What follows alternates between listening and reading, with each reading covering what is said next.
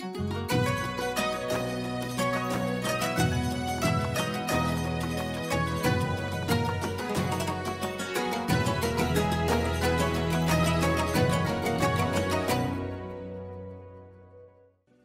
رمضان هست دعا را اثری. دارد دل من شور و نوای دگری. ما بنده آسی و گنهگار توییم. ای داور بخشنده به ما کن نظری. بسم الله الرحمن الرحیم. السلام علیکم و رحمت الله و برکاته خوشحال باز هم عبدالبشیر سیرت با گذشت یک سال دوباره در برنامه شهر رمضان در خدمت شما هستم. امیدوار هستم اوقات به کامتان و اولین روز روز ماه مبارک رمضان به خیر و خوبی آغاز کرده باشین و خداوند ماه مبارک رمضان به خیر و به خوبی پر از طاعت و با قبولی طاعت سپری بگرداند و سبب شود که گناهان ما آمرزیده شود. در حدیث ما داریم از پیامبر گرامی صلی الله علیه و سلم من صام رمضان ایمانا و احتسابا غفر له ما تقدم من ذنبه. خوب است که از آغازین لحظات روزه ماه مبارک رمضان کمر ببندیم تا خداوند گناهان ما را بیامرزد. و در حدیث کاندم بشارت داده شده به بخشیدن گناهان. اما به شرطی که در روزه صدق اخلاص و یقین کامل و خلوص نیت وجود داشته باشه. از پرحرفی ها می‌گذاریم امروز. چون تعداد سوالات ماشاءالله در بحثی که در صفحه فیسبوک به اشتراک گذاشتم بسیار زیاد هست و به سوالات انشاءالله تا فرصتی که مناسب دیدیم پاسخ داده میشه. جناب استاد احمد نور واقف استاد دانشگاه و مشاور ارشد ریاست اجرایی مهمان ما هستند و با ما در استودیو. خیلی ها خوش آمدید جناب استاد گرامی شما با سلامت باشین. جا داره که از شرکت مخابراتی MTN سپاس شکران کنیم. برنامه شهر رمضان سال 13 سناد شش تمویل کردن. و همچنان جوس خورشید جوس بسیار خوب و با طعم و ذائقه بسیار عالی. قبل از ماه مبارک رمضان نوشیده بودیم جوس بسیار عالی هست. و خداوند هر دو شرکت هر دو شرکت محترم توفیق بیشتر نصیب بگردانه تا برنامه های اسلامی ما را بیشتر تمویل کنند. خب از پرحرفی ها می‌گذاریم سوالاتی که شما دوستا در صفحه اسلام و قرآن پرسیدین یکی پی دیگری انشالله از جناب استاد می‌پرسیم. امیدوار با دقت تمام ببینین و پاسختان دریافت کنین.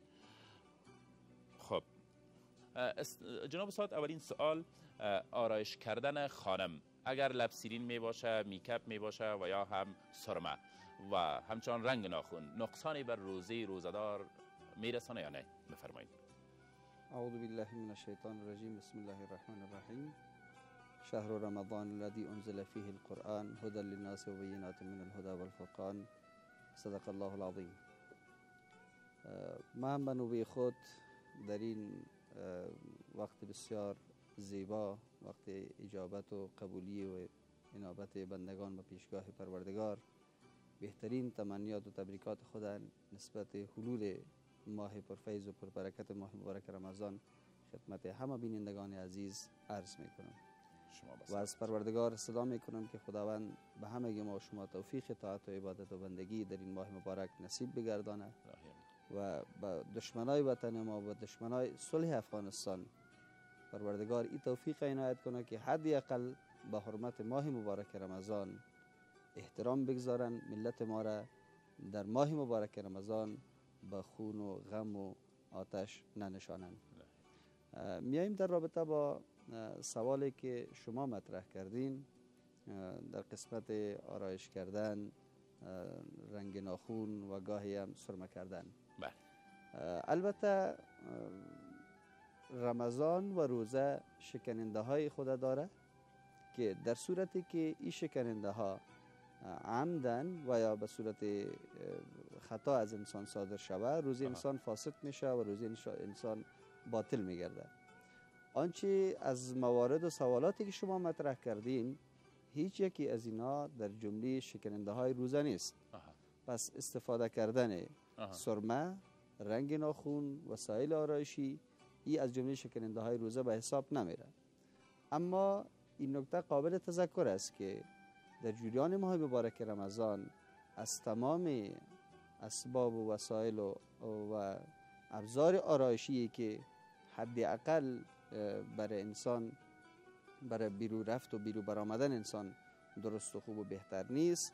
به حرمت و احترام ماه مبارک رمضان از او انسان اجتناب و پرهیز بکنه بله.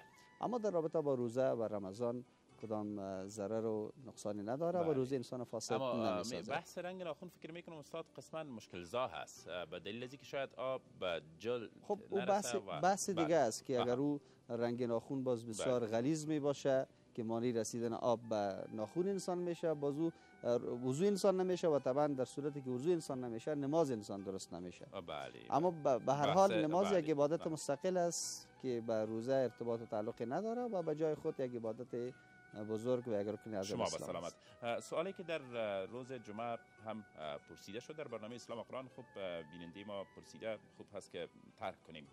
آب بازی کردن در کال اگر در دریا باشه یا در حوض آب بازی باشه یا به روزه شخص روزدار اشکالاتی پیش می‌کنه یا نمیفرمایید؟ اگر در یک چند مورد گذرا مطرح بکنیم بله. نفس آب بازی کردن به روز انسان ضرر و نقصانی وارد نمی‌کنه. چرا؟ اگر ما نفس آب بازی را مفسد روزه یا شکننده روزه بدانیم پس ما با مشکلات دیگری برمیخوریم که در جریان ماه مبارک رمضان انسان ضرورت به غسل مسنون روز جمعه داره به غسل تبرید یا سرد ساختن بدن داره و موارد مختلف و متعدد دیگری که به این قضیه مطرح میشه. بنابراین گرچه زیاد رفتن به آب بازی و زیاد مبادرت کردن شاید خلاف احتیاط و خلاف ورع و احتیاط لازم در ماه مبارک رمضان باشه. اما در صورتی که انسان دهن خود کنترل بکنه. و در زیر آب زیاد و نروه و آب به دهنش وارد نشوه در موارد دیگر این آب بازی کردن به انسان ضرر نداره و مضر نیست.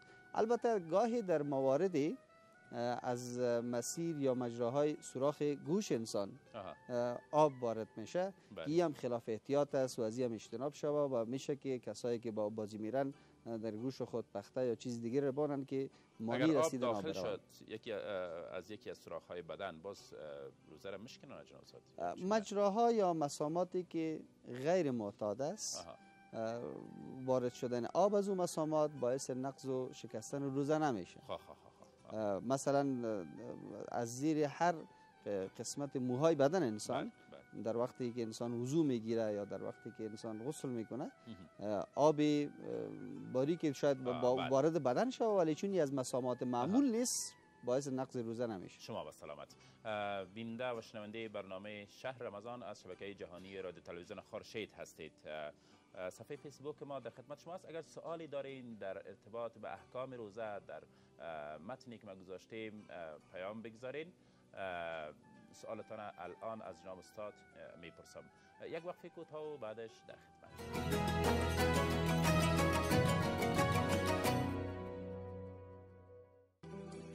خوش آمدید. بیننده و شنونده برنامه شهر رمضان به گونه زنده و مستقیم از شبکه جهانی رادیو تلویزیون خورشید هسته جناب استاد مفتی احمد نور واقف. استاد دانشگاه مهمان ما هستند و با ما در استودیو مبحثی که با جناب ایشان تا فرصتی که با ما هستند در میان می‌گذاریم. مباحث فقهی احکام روزه هست. اگر سوالی دارین در صفحه فیسبوک اسلام فاصله و فاصله قرآن در متنی که ما گذاشتیم بگذارین. سوالتان از جناب استاد می‌پرسم. خب یک بحثی که قبل از شروع برنامه با جناب, با جناب شما مطرح کردم مباحث نماز تراویح هست که در این اواخر بیشتر بعضی از علما پیدا شده انگشت شمار هستند البته تعدادشان که در بعضی از مساجد تبلیغ می‌کنن که تراویح باید 8 رکعت خوانده شود. یک بحث بسیار داغ هست در صفحه اسلام قرآن و چندین دوست سوال گذاشته که ما 8 بخوانیم یا 20 بخوانیم؟ دیدگاه شما بفرمایید. در رابطه با نماز تراویح اه، شاید فرصت برنامه ما زیاد بله ما را بله. مجال نته که همه موضوعاتش را مطرح کنیم ولی به صورت مختصر مطرح شود که تراویح مهم. در آنچه در روایات اح- احادیث پیامبر اکرم صلی الله علیه وسلم آمده که راوی حدیث حضرت عایشه صدیقه رضی الله تعالی عنها است که پیامبر صلی الله علیه وسلم در مدینه منوره شب رمضان البته قسمت های اخیر ماه مبارک آها. رمضان به مسجد آمدن نماز خواندن بعد صحابه اجتماع کردن شب دیگر باز آمدن شب دیگر باز آمدن اما در شب چهارم که مردم زیاد منتظر شدن پیامبر صلی الله علیه وسلم نیامدن. و بعد در فرصت دیگر باز گفتن که اگر من می آمدم حتما فرض می شد بنابراین من از که بالا شما فرض نشوه حضور به هم نرساندم.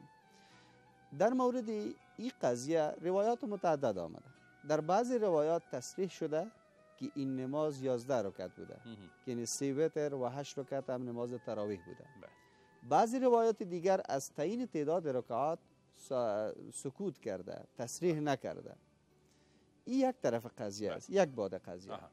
بعد قضیه دیگرش است که در زمان حضرت عمر فاروق رضی الله تعالی عنه حضرت عمر فاروق رضی الله تعالی عنه می در وقتی که وارد مسجد میشه می‌بینه که مردم به گوشه های مختلف مسجد کسی تنها کسی چند نفر در اجتماعات کوچک نماز می‌خوانند و بعد مشوره می‌کنه و میگه که من اینا را به یک امام واحد جمع می‌کنم. بعد حضرت ابی ابن کعب دستور میته و او امام میشه و همه پشت از او به امامت از او نماز می‌خوانند و از امین جاست که. تاریخ 20 رکعت نماز تراویح آغاز میشه. فراموش نکنیم که بعضی از علما و دانشمندان حتی این 20 رکعت در امو اوایلی که پیامبر صلی الله علیه وسلم نماز ادا کرده منتفی نمی‌دانند.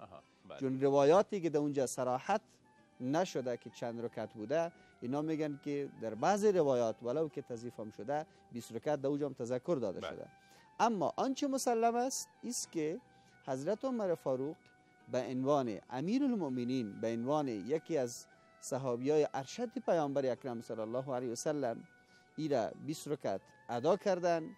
بعد اجماع سکوتی صحابه متحقق شد. همه اصحاب گرامی که در آن زمان حضور داشتند ایره ادا کردند. نه تنها سکوت نکردن بلکه ادا کردند. و بعد از امون عصر تا به امروز بلا نزاع این قضیه آمده. بله. و به همین دلیل است که ائمه اربعه امام ابو حنیفه رحمه الله امام شافعی رحمه الله امام مالک رحمه الله و امام احمد بن حنبل همه اتفاق نظر دارند که تراویح مسنون 20 رکعت است. و به همین دلیل که در دو مرکز بزرگ پخش نشر اسلام که مکه و مدینه است 20 رکعت. و 20 رکعت ادا میشه و خوانده میشه. میگن اینا از حضرت عمر صاحب و اصحاب کرام عال... کرده عالمتر هستن جناب صاحب. در حالی که پیامبر صلی الله علیه و سلم میگه که شما هدایت کنه این مردم. سنت ما و سنت بله. خلفای راشدین بله. الزام بگیرید. بله شما. با سلامت. خب بیاین که سوال آخر بپرسیم. خواب کردن زیاد در ماه مبارک. سوال صفحه است. آیا به روزه مشکلی پیش می‌کنه نمی‌کنه؟ اساسا خواب از جمله شکننده های روزه نیست. بله. و انسان می‌تونه استراحت کنه و این مانع روزه شده نمی‌تونه حتی اگر به انسان کسالت و ضعف و ناتوانی بار میاره یکی از علاجای چیست که انسان استراحت شود لکن این نکته هم باید در نظر داشته باشیم که فقها خواب کردن زیادی را.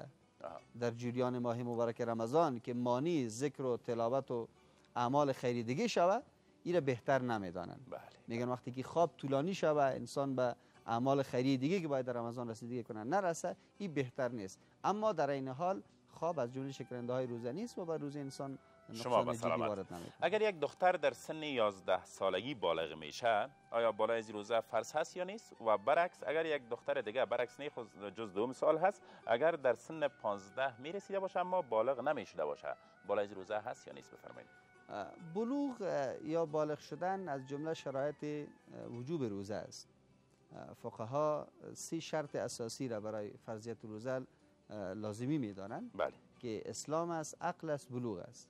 بنان در هر زمانی که بلوغ تحقق پیدا می‌کنه بله. روزه فرضیتش به انسان متوجه میشه. بله. این بلوغ در عین حالی که به سن تعیین میشه وسایل و علامات و نشانی های دیگری هم داره که اگر یک کسی به وسیله سن بالغ نمیشه علامات دیگری به وجود میایه یا یک کسی سنش بالا رفته و نشانی ها و علائم دیگه باز پیدا نمیشه در هر صورت مهمترین جز از جمله فرایز فرضیت روزه بلوغ است. اگر کسی در سن 11 سالگی بالغ میشه روزه بر بالا از فرض است. اگر فرض کنیم از نظر فیزیکی توانایی نمی داشته باشه باز چیه؟ خب از نظر جسمی ضعیف هست. بالغ شده اما ضعیف ضعف و ناتوانی از خود باز تعریف های متعدد داره بله بله. آیا ضعف و ناتوانی با معنی ازی که اصلا قادر نیست آها. که بازی مبحث طبی مطرح میشه که بله. اگر واقعا به می مرحله باشه بازو یک عذر پنداشته. میشه. در غیر از او وقتی که به سن بلوغ می‌رسه انسان فرضیت به او متوجه میشه و باید بله شما به سلامت. خب متن سوال می‌خوانم. یک طفل شیرخور باشه و مادرش روزه بگیره و شیر نداشته باشه. و طفل به غیر از شیر چیزی دیگری نمی‌خوره برای مادرش روزه میشه یا نمیشه؟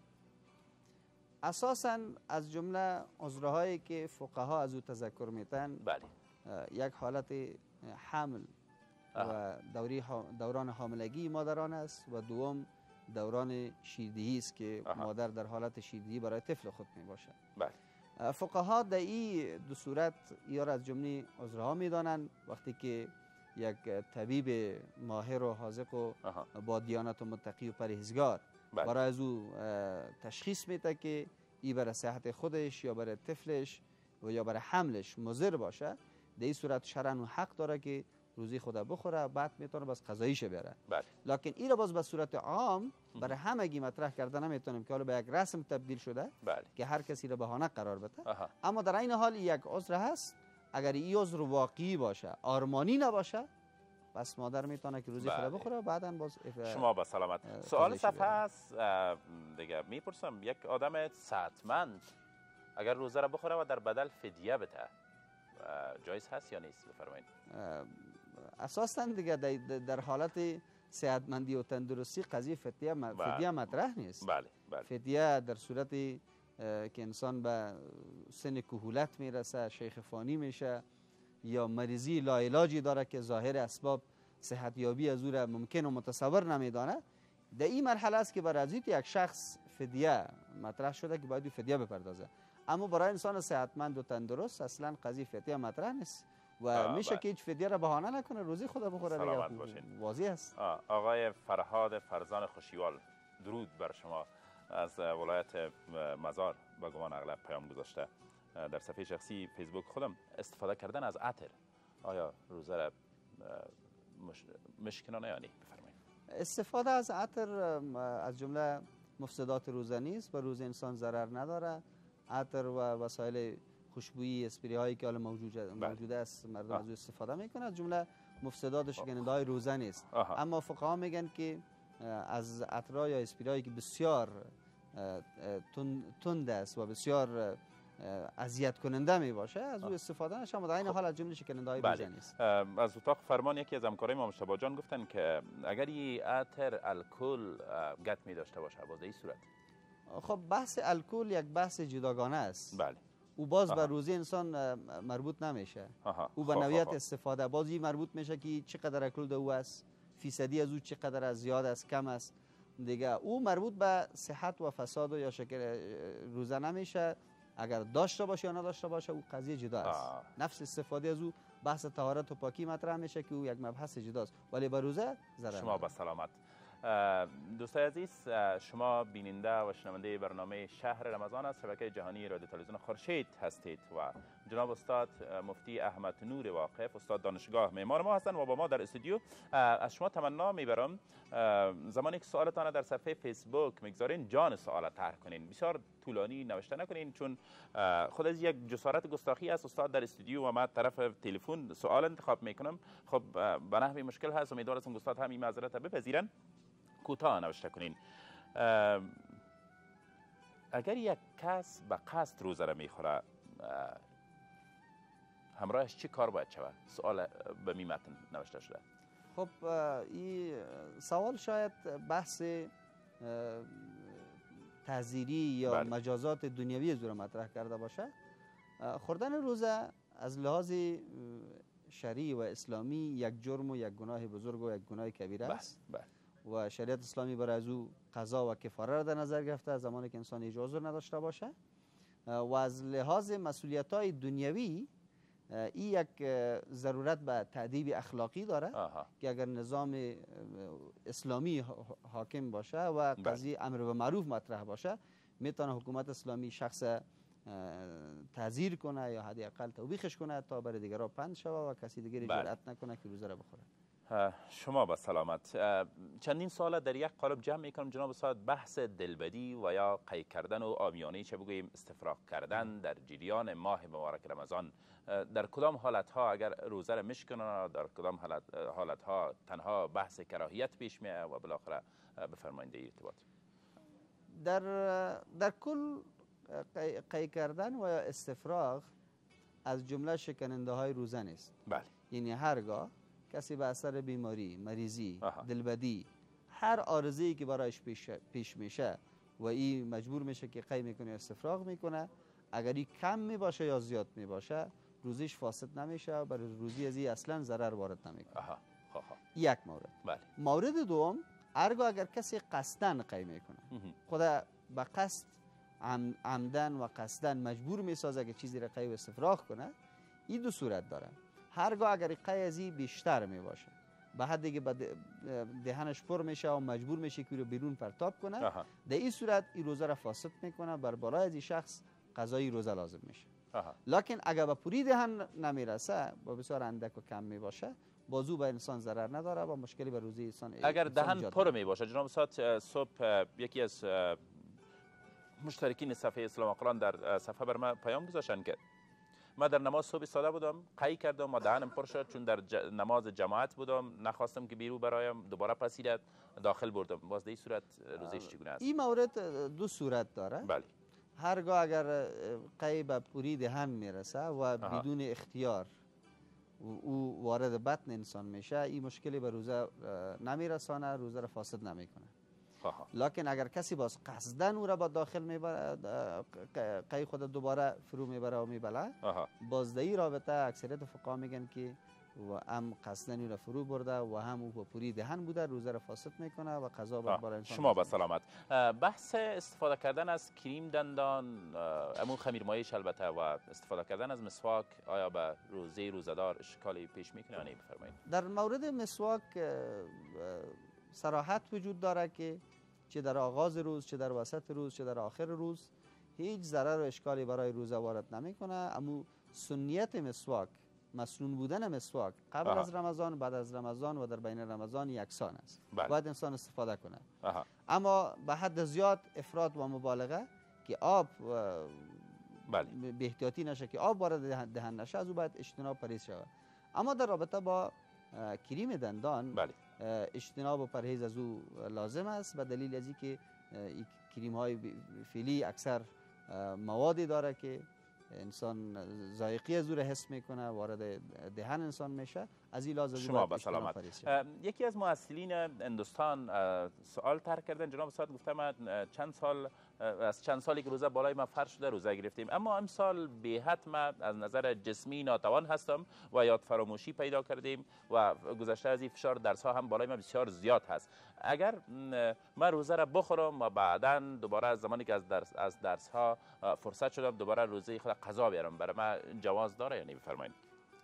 عذر حالت های متعدد داره. بله. اگر عضو یک انسان به مرحله ضرورت می‌رسه بله. ضرورت به معنی ازی که خطر جسم انسان تهدید می‌کنه خطر خطر یک عضو بدن انسان تهدید می‌کنه بله. مریضی است بیماری است چه بیماری فعلا وجود داره چه تصور یک بیماری است چه دیر صحت یاب شدن یک مریضی و بیماری است وقتی که این عذرا به صورت حقیقی و واقعی باشه بله. انسان می‌تونه روزی خدا بخوره بعد قضایی زوره بیاره لکن اگر این عذرا واقعی و حقیقی نباشه صرف بله. تصوری باشه آرمانی باشه باز این صورت مشکلات دیگه نمی‌تونه سبب بله. برات به انسان شوه که انسان روزی خدا شما با سلامت یک سوال هست برای من سوال نو هست ایره متنش می‌خوانم جناب استاد خب سلام سیرت سلام جناب سیرت. پدرم در آزانهای شام که ملاها می‌دهند روزه خود را پنج دقیقه بعد افطار می‌کند. و می‌گوید که وقت است و برای ما در وقت اذان چند بار آفتاب را نشان داده و ما هم آفتاب سرخی آفتاب را دیدیم. دیدگاه شما را خواستند خب پیامبر اکرم صلی الله علیه وسلم در یک حدیث شریف مهربانی می‌کند که امت ما تا آن زمانی به خیر هستند که در افطار عجله کنند و در سحری تاخیر کنند. معنای از این حدیث پیامبر صلی الله علیه وسلم این است که ما نیم ساعت بعد از نماز عصر شتاب عجله کنیم. قبل از رسیدن بله. اذان شام یا قبل از غروب آفتاب روزه را بخوریم بله. این درست نیست. اما معنای حدیثی است که زمانی که شام داخل میشه بله. آفتاب غروب می‌کنه. از آن ضرور نیست. بله. شاید یک- فرصت بله. وقتی که شام داخل میشه برای یک انسان مسلمان سزاوار نیست که تاخیر و تعلل بکنه. این تاخیر و بله. تعلل به هر دلیلی که با باشه. جرأت دادن جرأت تشکر. دوستان عزیز در جریان هفته یک روز حتما استاد با خود می داشته باشیم پس وقفه در خدمت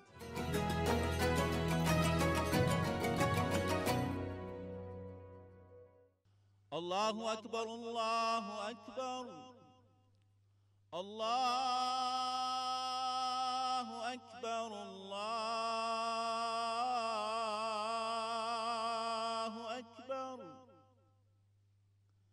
أشهد أن لا إله إلا الله.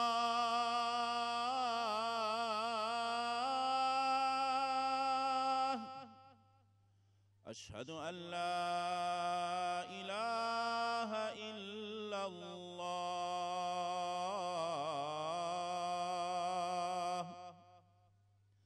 أشهد أن محمد رسول الله.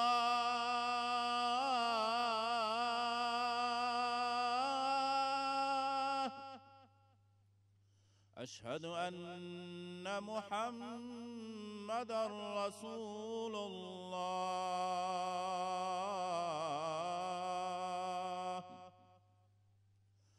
حي على الصلاة.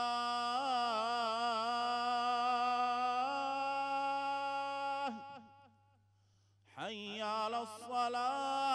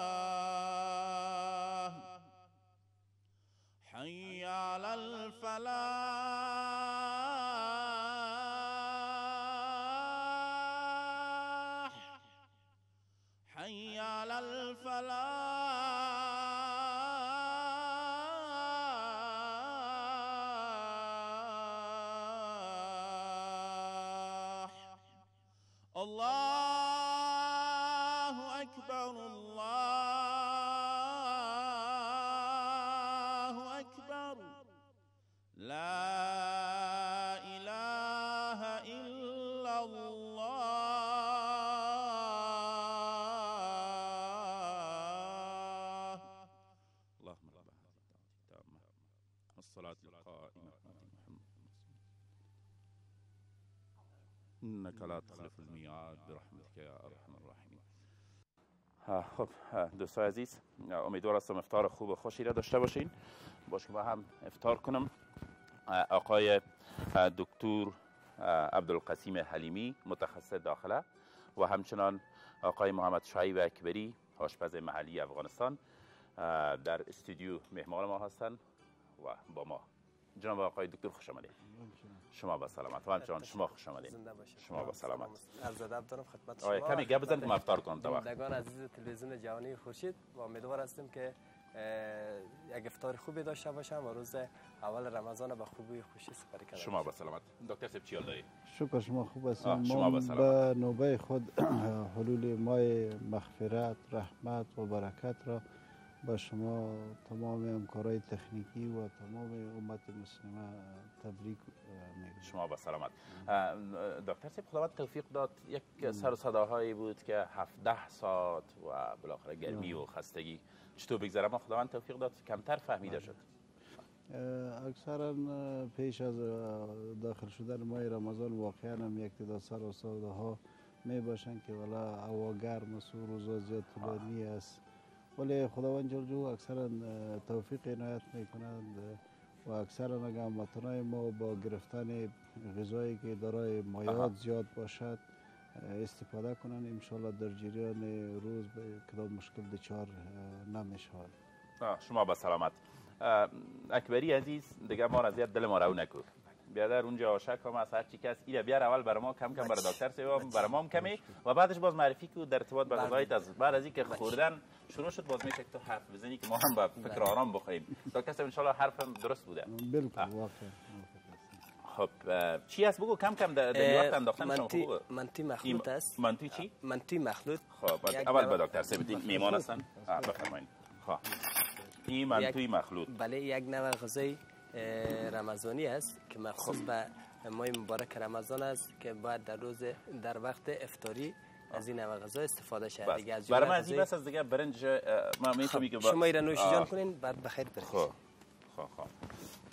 دیگه یک نوع غذای رمضانی است که تقریبا پارسال این نوع غذا رو نواری کرده بودم. دیگه مخصوص به روز افطار است. مخصوص به وقت ازی است که ما بعد روزی ما رو با این غذا این خمیر از کمی فطیر می باشه باز برای برای افطار کنم مشکلی ایجاد نمی‌کنه خب برای روزه دار بله دقیقاً. خب خمیر من تو که ما شما در روزه عادی از استفاده می‌کنیم یا من تو از درست می‌کنیم او فطیر میمونه. اما این خمیری که ما درست می‌کنیم به منتوی مخلوط که مخصوص به رمضان شریف است این فطیر نمی باشه. یعنی در خمیر مایه استفاده میشه که باید خمیر برسه و بعد از این همو منتو آماده شه. خب. منتوی مخلوط. منتوی مخلوط بله. منتوی مخلوط میگن؟ بله. وجه تسمیه بله دقیقاً. خب بله. بدلیل از منتوی مخلوط ما نامش گذاشتیم که ام از ترکاریجات در منتو استفاده شده ام از سبزیجات استفاده شده ام از حبوبات استفاده شده ام از لبنیات استفاده شده ام از انواع گوشتات یک نوع گوشت استفاده شده. یعنی از امی پنج نوع موادی که مواد اولیه است در غذا استفاده شده. امی ما افغان ها کمی گوشت هم تو به سر چشم نبینیم نمی جان ما چندان نمیشنیم. بله گوشت چیزی کجا ازیه؟ گوشت ازی در داخل خود منطقه کوبیده شده. کوبیده شده بله دقیقاً. خب برین به اوسراغ و بله. شو چی است خب او غذا به نام پلو میوه پنیری پلو است. که هم یک نوع غذای رمضانی است. او پارسال آورده بودیم بله پارسال آورده امی غذا را پارسال آورده بودیم. دیگه ما بدل از دوباره خواستیم غذا را بریم که غذا کمی شورت پیدا کنه و دوست از غذا استفاده کنم یه چند ساعت آماده کردی مخصوصا یعنی یک دو ساعت وقت می‌گیره اردوی ازی تهیه کردن بیشتر از دو ساعت وقت می‌گیره تقریبا بیشتر از دو ساعت دو نیم ساعت در بر می‌گیره میشه در مورد امی بله. خب منطوق بله. منطوق است بله. حتما خانواده ها با بله. طرز استفاده از آشنایی دارن اما پنیری پلو بله. شاید طرز تهیهش شاید بر بعضی ها بله. مشکل باشه. کوتاه کوتاه بفرمایید چگونه باید بله. شود خب پنیر پلو مخصوص به سحری است که دوستای ما اگر در سحری از پنیر پلو استفاده کنند واقعا بله. در مدت روزی که روزه می‌گیرن سیر باقی میمانند. یعنی زودتر گشنه نمی‌شوند. دیگه طرز تهیه ازی با پلوایی که ما در خانه آماده می‌سازیم یا غذایی که از برنج آماده می‌سازیم بسیار کم تفاوت داره. فقط این غذا به عوض از این که در غذای دیگه ما از گوشت استفاده میشه دیگه غذای ما فقط از پنیر استفاده می‌کنیم. بسیار خوب. خب دکتر صاحب چطور بود؟ مزهش والا من خوب نوش جان پالی سیوار هر چیز خوششان می خوردنی ما مزه بود هستم و خوب با کیفیت با مزه بسیار لذیذ بود و از نظر این حال از نظر سیش شما صحبت کنین. از نظر ارزش غذایی هم بسیار خوب مواد غذایی است چون دارای مواد پروتئینی می باشد که خود نخود ازی دارای منبع خوب پروتئین است. و همچنان گوشت که از جمله پروتین های حیوانی میه که ارزش غذایی از نظر بیولوژی فوق العاده بلند دارن. و همچنان دیش کربوهیدرات و همچنان دیش اهمیت به مقدار مناسب وجود دارد. دکتر سبی یک سوال که ما افغان ها بیشتر امی فرهنگ ما و کلچر ما و کلتور ما است که بیشتر غذاهای تند استفاده می‌کنیم.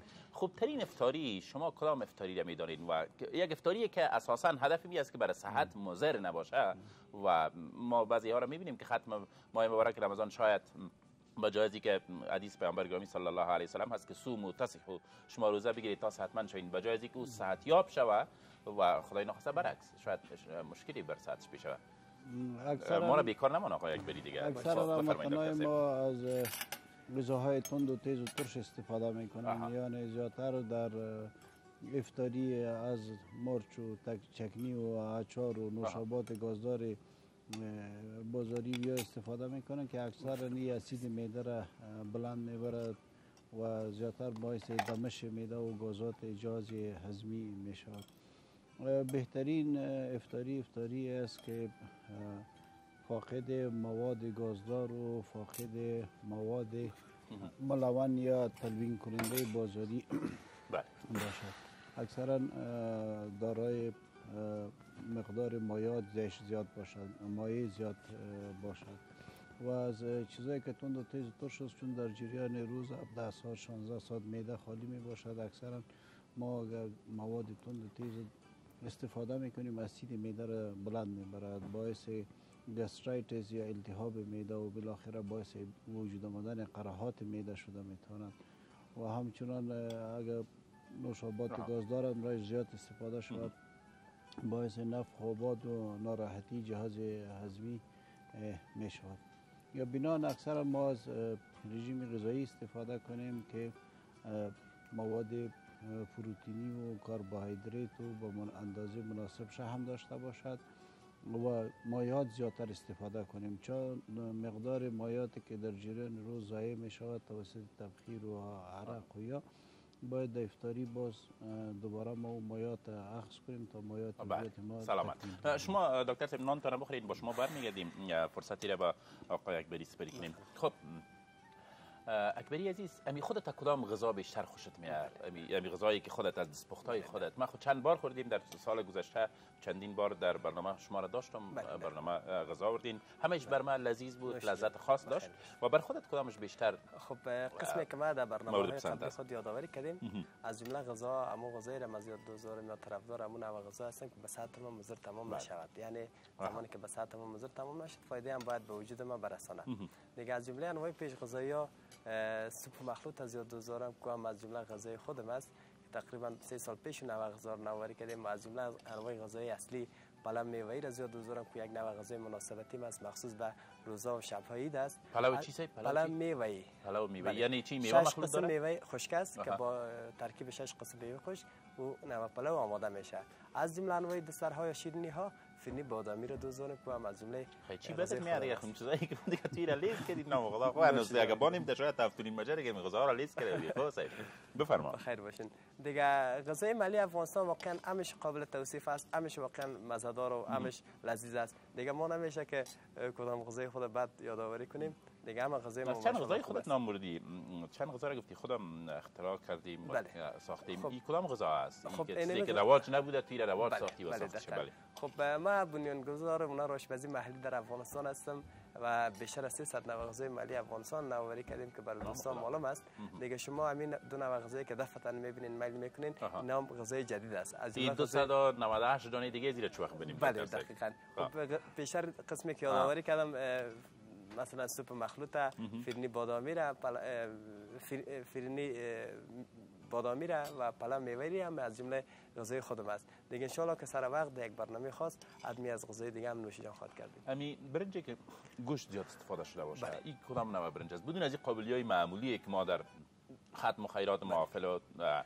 خانواده در خانه ها بله. استفاده می‌کنیم. خب یک نوع غذا داره افغانستان به جز از اینکه چندین نوع تمام غذای ما با گوشت با آماده شده فرهنگ ما است این زاید ویدی مرا میگه تو گوشت زیاد میگینه خوب است یعنی بدون, بدون بدون گوشت پلوای ما آماده نمیشه. در زمان سابق فرهنگ ماست.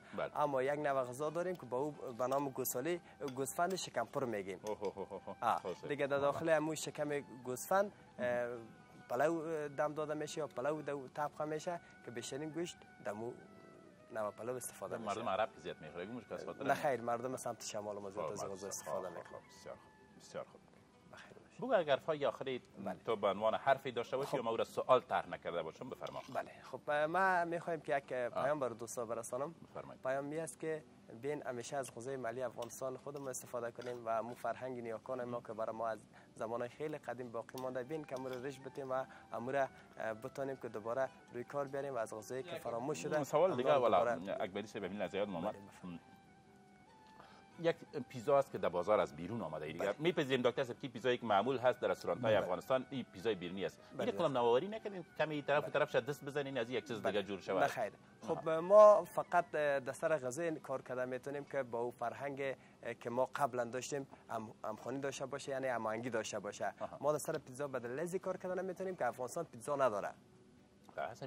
اجازه بدین. او است اما رایجی است. یعنی در افغانستان رایج از بیرون آمده. از بیرون آمده. اما خود افغانستان پیتزا نداره. ما این گونه تعریف کردیم آشپزی ملی افغانستان که غذای ملی افغانستان به ما غذای گفته میشه که توسط خود آشپزان افغانستان یا توسط مردم افغانستان نوآوری شده و موادی که در او غذا به کار میره تمامش موادی باشه که در گوشه و هر قسمت مردم چه فکر می‌کنید پیزا را اگر شما کدام پیزا. پیزا ماننده بسازید بله. امکانش هست خب امکانش به دلیل ازی است که ما بله. کاملا متفاوت یعنی از پیزا بسیار فرق داشته باشه که ما یک. نوع غذایی را اختراع کنیم که برای اولین بار در افغانستان چی که در سطح دنیا برای اولین بار باشه اگر ما از که پیتزا کاپی کنیم خب معلوم دار است که ما فقط ابتکار می‌کنیم یعنی نوآوری نمی‌کنیم فقط ابتکار می‌کنیم فقط همون غذا را یک کمی به اصطلاح اصلیتش بالا می‌بریم اما در کل اختراع گفته نمیشه نوآوری کردن قربانت. اکبری عزیز خواهش خیر نصیب کنم من باشید. خودت بدون از خب این بحث غذا آوردن در برنامه یه گپ جدا است خودت قبلا من میشناختم معرفت با خود دارم و دوست دارم. خدا شاید بخیر خودت این بحث غذا یک شوخی بود که نخواستیم که برنامه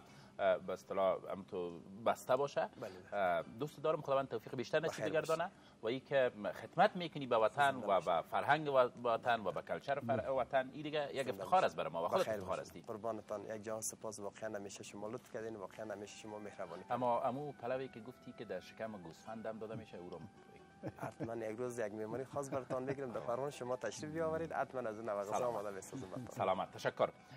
با آقای اکبری خداحافظی می‌کنیم. اه، یک وقفه کوتاه می‌گیریم. بعدش سوالاتی که در راستای صحت در روزهای ماه مبارک رمضان نیاز هست از جناب آقای دکتر طرح می‌کنیم. شما هم اگر در ارتباط با موضوع صحت سوالی دارین صفحه فیسبوک ما اسلام فاصله و فاصله قرآن در خدمت شما هست.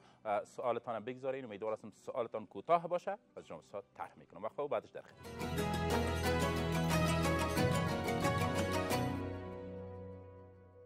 خوش آمدین.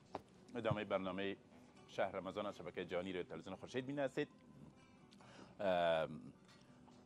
رمضان هست و ما هم ده ساعت روزه گرفته بودیم. مجبور بودیم دیگه کمی غذا میخوردیم و آزارم خودم دادم. چند دقیقه او جمع وقت گرفت دیگه این فرصت وقفه نیاز بود تا کمی ما هم تناول کنیم. خب میایم با جناب آقای دکتر صاحب حلیمی صحبت ها را آغاز می‌کنیم. سوال اگر دارین در صفحه فیسبوک اسلام فاصله و فاصله قرآن شما هم در در این بخش سوال اگر دارین بگذارین از جناب آقای دکتر می‌پرسم. یک بحث دینی روزه هست جناب استاد که یک، یکی از فرایض الهی است که باید روزه گرفت بدون چون و چرا.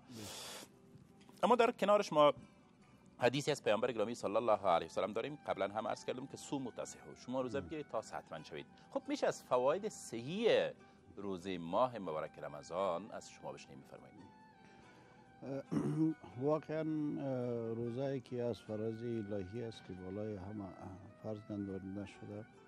چون آیات قرآن کریم است که میگه کتب علیکم الصیام کما کتب علی الذین من قبلکم لعلکم تتقون. تتقون.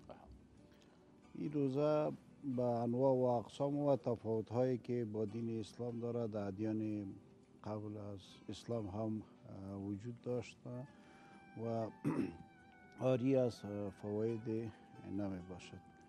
چون جهاز هضمی که از دهن و بله. میری و معده و امای کوچک یا رقیقه و امای غلیظه و, و همچنان ملحقات جهاز هضمی که جگر و کسه صفرا و فانکراس می باشد تشکیل شده است.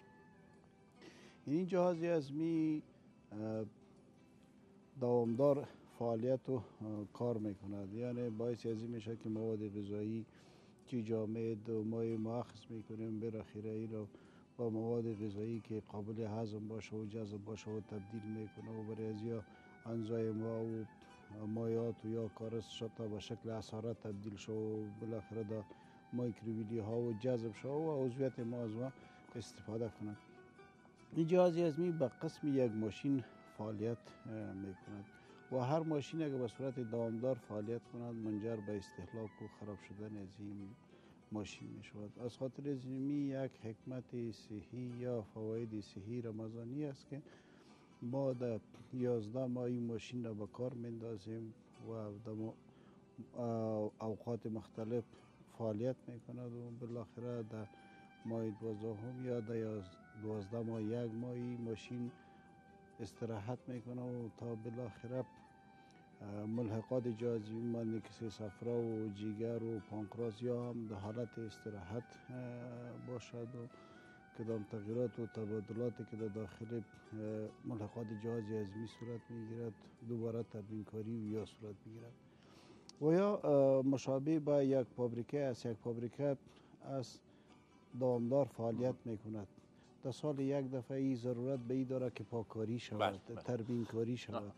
ماه رمضان به عضویت ما خصوصا به جهاز هضمی که یک فابریکه بزرگ process مواد غذایی مختلفی است و تمام احشا و اندام و حتی سلول سلول بدن را تغذیه می کند این جهاز هضمی. مانند یک فابریکه که دوازده ماه یک دفعه با پاکاری و تمیزکاری بله، نیاز داره جهاز ازمی و ما هم به استراحت و پاکاری ضرورت شما با سلامت دکتر سیب ما خب چند سال تمام هست در برنامه شهر رمضان به گونه زنده اینجا در خدمت دوستا قرار دارم. اما قبل از او سفره ها یا دسترخان های ما افغان ها در جریان ماه مبارک رمضان یک شیوه خاص خود داره خب پس ما از اون شیوه یاد کنم شما بود سی از باز حرف بزنین. مثلا از یک طرف آب لیمو تیار میشه. این سرد هست آب بسیار سرد. و در کنارش چای داغ چون افغان ها چای سیاه یا سبز یک فرهنگشان است می نوشن بیشتر می نوشن خب بعد از اینی که افتار کردن با یک آب یا خرما بود در اندک فرصت آب لیمو که بسیار سرد هست ایرا تناول می‌کنه نوش جان می‌کنه و مینوشه و بعدش یک دقیقه دقیق و یک دو سه لقمه نان گرفت این طرف و طرف مصروف شد. بعدش چای داغ. ای از نظر سی امی سیستم غذایی و امی قسم تناول کردن غذا آیا به صحت اشکالی پیش می‌کنه؟ نمی‌کنه دقیقتا باعث مشکلات دوزویت شده می‌تونه. آب لومی اگر به اندازه معتدل باشد و زیاد سرد نباشد استفاده شود. یک منبع خوبی از ویتامین سی و, و دیگر ویتامین ها و منرال ها محسوب می شود ولی به اندازه سرد نباشد که باعث ایجاد اسپازم و تغییرات در جهاز هضمی و مشکلات به وجود بیاد اگر در صورت ما بسیار زیاد مایات سرد را چی جوس لیمو باشد و یا دیگر مایات باشد تناول کنیم باعث سپازم در میری و معده و قسمت های دیگر جهاز هضمی و باعث دردها شده می‌تواند و اگر طوری باشد که یک دفعه مایات بسیار سرد گرفته شود و دفعتا مایات یا چای یا آب بسیار داغ گرفته شود این خودش باعث تغییرات در جهاز هضمی می شود مانند می باشد که یک دفعه آهن خوب داغ می‌کنه و بعدا یکی به که سرد سلامت. یک چیز دیگه که انقباض و انبساط در جهاز اسمی شده می‌تواند بسیار خوب بسیار خوب. چون دقایق اندک هست با ما بیشتر از یک نیم دقیقه فرصت با ما نیست جناب آقای دکتر. روزا بسیار دراز هست. 17 ساعت تمام ما در کشور روزه می‌گیریم و در برنامه اسلام قرآن بعضی از افغان ها بعض بعضی از کشورها تماس داشتن. حتی بیشتر از 21 ساعت اینا روزه می‌گرفتن. کدام غذا را شما در سحری توصیه می‌کنین تا بتونه آدم از یک طرف روزی بسیار خوب داشته باشه و از طرف دیگر بر کارهای روزانه خود ادامه داده بتونه؟ یعنی ابی کسالت و گشنگی و تشنگی سبب نشه که آدم در کنج بیفته و فقط استراحت ترجیح بده بفرمایید. زیادتر با ما از غذاهای استفاده کنیم که دارای ارزش بیولوژیکی بلند باشد. یعنی مواد غذایی مکمل باشد که دارای کربوهیدرات و ویتامین و پروتین و شهم به اندازه متناسبش باشد. و همچنان باید از مایات زیاد ما استفاده کنیم. تربوز پرزند میوجات ما می‌تونیم زیاد استفاده کنیم. دارای کربوهیدرات است و همچنان مقدار زیاد مایات در بر دارد. می‌تونیم در سحری همچنان از آب لیمو نوشابات لیمو استفاده کنیم. و همچنان از مواد غذایی استفاده کنیم که دارای ارزش بیولوژیکی مختلف دارای کربوهیدرات پروتین و شهم بندازه مناسب. باشن. شما با سلامت دکتر صاحب شما با سلامت باشین. اگر در اخیر در سی ثانیه توصیه های طبی تا بگین تا بیننده های ما آگاهی خودتر پیدا کنند با تمام وطنهای ما خواهش می‌کنیم که اکثرا در ماه رمضان به حفظ صحت زیادتر مراعات کنند. از نوشابات گازدار بازاری و از غذاهای تند و تیز و ترش زیادتر استفاده نکنند. زیادتر از مواد غذایی که صحی باشند از زیادتر شما با سلامت تشکر. آقای دکتر استفاده بردیم خدا شما را خیر نصیب بگردانه سپاس شکران از شما. تشکر می‌کنم از شرکت مخابراتی MTN برنامه شهر رمضان را تمویل کردن. خداوند خیر نصیب بشان بگردانه و همچنان جوس بسیار خوب خورشید. جوس بسیار خوب هست. و طعم بسیار خوب داره. از این جوز استفاده کنین. تمویل کننده برنامه شهر رمضان هست. ان شاء الله خداوند ان الله لا یضیع اجر المحسنین. برنامه اسلامی را تمویل کردن خود از اجر دنیا و آخرت داره و خداوند ان شاء الله برکت می اندازه صفحه فیسبوک ما اسلام فاصله و فاصله قرآن در خدمت شما هست. تا فردا ساعت شش سی شام که باز هم در خدمت شما قرار می‌گیرم. شما را به خداوند یک تا امانت نموده. الان نگهدار.